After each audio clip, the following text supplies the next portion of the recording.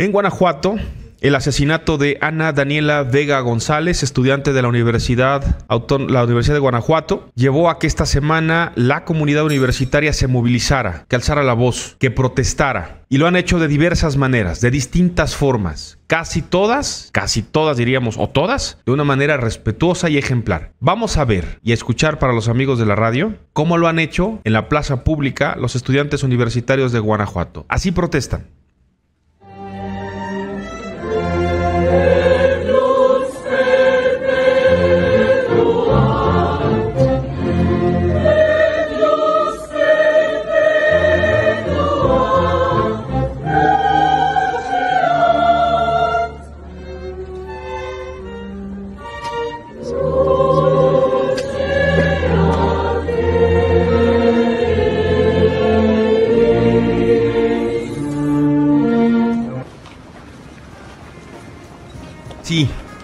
Con un concierto de música clásica, con performance, con eh, discursos, los universitarios, y no solamente los universitarios, la comunidad estudiantil en Guanajuato ha tomado la estafeta para levantar la voz y protestarle al gobierno del panista Diego Sinoé la enorme irresponsabilidad ha tenido el gobierno de ese estado frente a la ola delictiva que ha sembrado por decenas las víctimas en ese estado, ciudad por ciudad, región por región.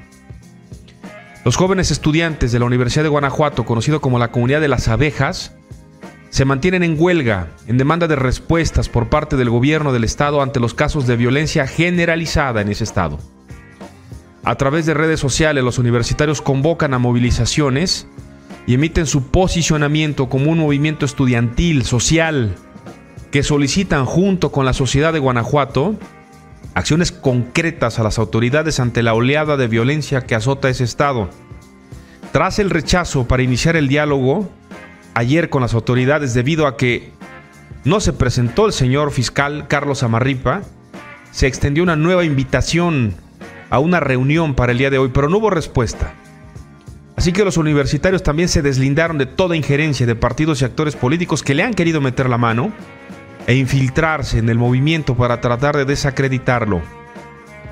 Se preocupan en el gobierno con toda razón por el creciente movimiento de enojo, hartazgo y la movilización que los estudiantes universitarios encabezan de una manera ejemplar allá en Guanajuato para la pregunta es, ¿comenzar a poner fin a un régimen que no termina por dar resultados o qué? ¿Qué va a pasar? No son solo los estudiantes universitarios.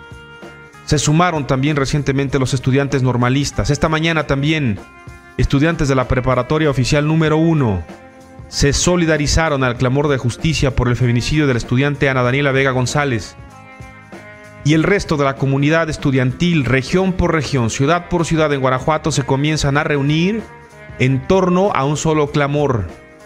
Y no solo por lo que pasa alrededor y con la comunidad estudiantil, sino por lo que pasa en torno y con la sociedad guanajuatense, que ha vivido prácticamente dos años de terror ante la observancia de un gobernador que esconde la cabeza, porque eso ha hecho Diego Sinue, esconder la cabeza, exigirle a la federación que lo vayan a rescatar, pero no mete las manos. Para eso pidió ser gobernador, para eso piden ser gobernador.